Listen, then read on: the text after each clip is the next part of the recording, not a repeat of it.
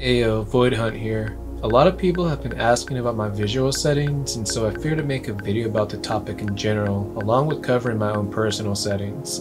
I feel like what's most important here is understanding which visual settings are most effective for you, rather than just assuming whatever visuals work best for me or anyone else will work best for you as well. Now I've been playing KovaaK since just before 2020, and I've gone through many, many iterations of visual settings. Back when I first started, there wasn't the plethora of customization options we have now, but I also had no idea what I was doing either way, so it didn't really matter at the time. The first choice you have in visuals is deciding between a light background with a dark target or a dark background with a light target.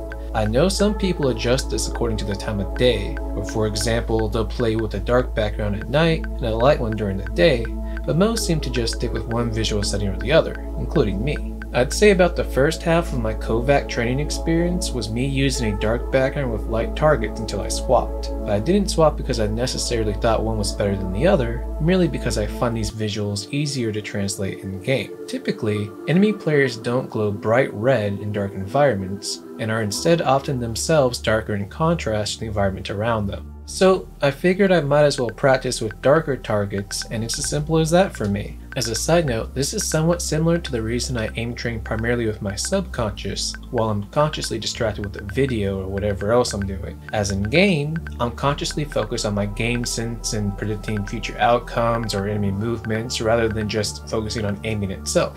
One exception to this being whenever I'm trying to review myself as I play the scenario, rather than just looking over my own VOD at a later date. Anyway, you've probably noticed that while using fully blacked out targets, I still have some color on my walls, rather than them just being pure white ones. This is purely for eye strain reasons. Having a more warm, vanilla folder-esque background is infinitely more comfortable for me to stare at, especially for night sessions, while still contrasting with the bot just fine.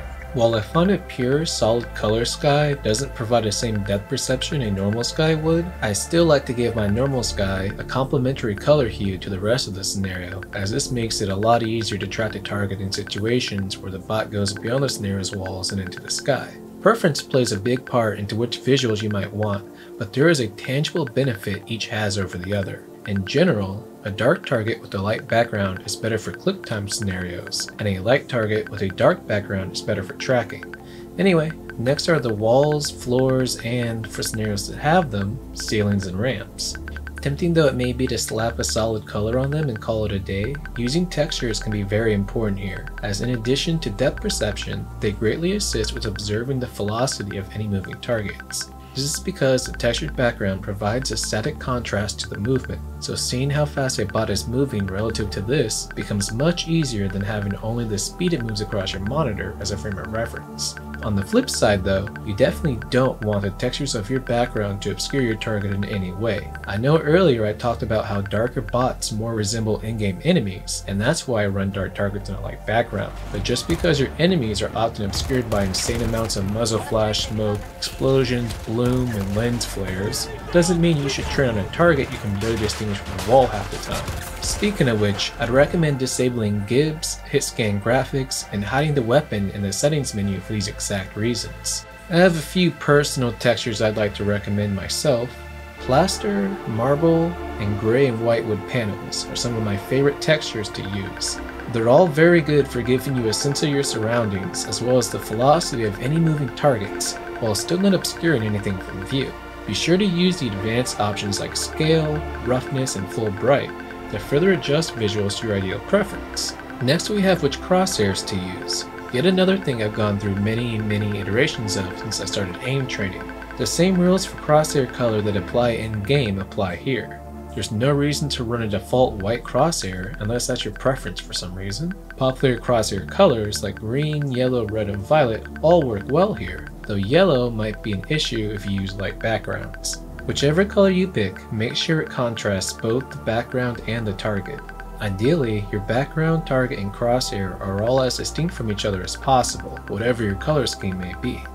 As for the crosshair shape itself, you want something that you won't easily lose track of, but is also not so intrusive that it obscures whatever you're aiming at. In my experience, larger, more obvious crosshairs have been better for tracking, while smaller, unintrusive crosshairs have been better for click timing.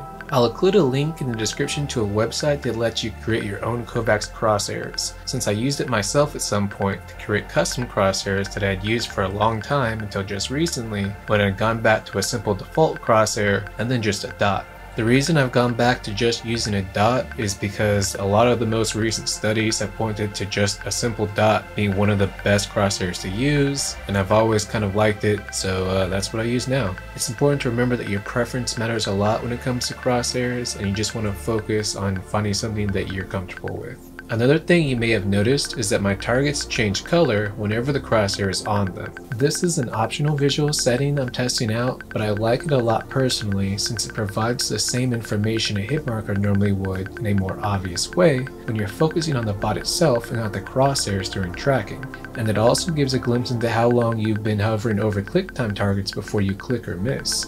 I usually play with sound very low or off as well, since I'm watching videos or listening to podcasts anyway while training, and having an extra bit of direct visual feedback is very helpful. Just make sure that if you decide to use it, the color the target changes to still contrasts both to the scenario environment and the crosshair itself. If you still want to stick with hit markers, there's also a similar method to this where you actually change the hit marker to be the exact size and shape as your original crosshair, but as a different color. So whenever you track a target or click a dot, your crosshair changes color, though this won't occur just by hovering over the bot like the bot color change will. I've actually tried using both of these methods together, but to be honest, it didn't really help my aim any better and just created more visual noise with all the colors constantly changing back and forth all the time. Next on the list, we have graphical settings. This isn't a graphics guide by any means, that's not the purpose of the video, but there's a few settings that directly impact visuals, especially now after the KovaaK 3.0 patch. Post-processing now provides additional depth perception to all scenarios, so keeping it on at least low will offer a tangible benefit in that regard. Anti-aliasing should also be on in some capacity to keep the balls from looking super jagged, but shadows still have a big performance hit for many scenarios as of the making of this video, so I'd leave them off or on low, especially since they have very little value outside perhaps maybe balancing scenarios. So with that concluded, let me now show you what my own personal settings are at the moment. I used the drywall texture for both walls and floors with two slightly different colors to differentiate them, then used the white wood board texture for ramps and plaster fresh for the ceiling. The color will look slightly different for you depending on your monitor, but I just max out the red and green sliders and then lower the blue until I no longer feel the blue light searing into my eyes regardless of the time of day. For my optional enemy color change setting, I use a very dark red that contrasts both the environment and also the original fully black setting. As aforementioned, this is a recent change I've made though, so I'm not fully locked in on using just red, and plan to try a dark blue or maybe a dark purple at some point, as well as tinker around with the glow up color setting. But this is how my visuals are for now. As for my video settings, there's not much more to add other than what's on the screen at the moment. My setup is a 9900K and an RTX 3090, but I still play with the lowest reasonable settings for the most FPS boosts possible. I always play with the NVIDIA low latency mode enabled and boosted, as well as set it to Ultra in NVIDIA control panel whenever it's not supported in game. Well that's all for now. I hope you found this helpful and can now create your own ideal visual settings in KovaaK's. As a quick recap, choose between dark targets and a light background or vice versa. Make sure there's enough contrast between your crosshairs target and scenario. Make sure your scenario's textures or your crosshairs don't obscure the target. Optionally change the color of the bot or your crosshairs when you track them and use anti-aliasing and post-processing to help with visual clarity while lowering or outright disabling shadows for extra performance. Thanks for tuning in, be sure to subscribe, I hope you enjoyed the video, and this is Void Hunt signing out.